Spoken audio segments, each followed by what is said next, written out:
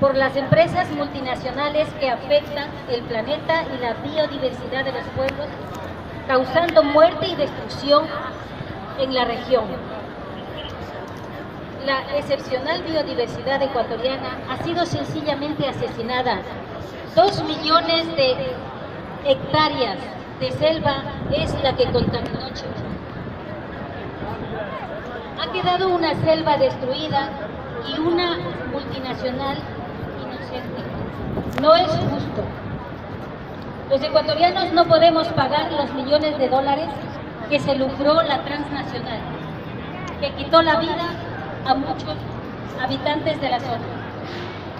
Invitamos a nuestros amigos y amigas de Europa y del mundo entero a expresar igualmente su rechazo a la prepotencia de aquellas empresas multinacionales que destrozan el medio ambiente y quieren luego lavarse las manos.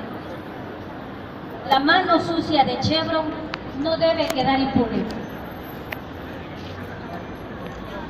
Chevron mata, mató y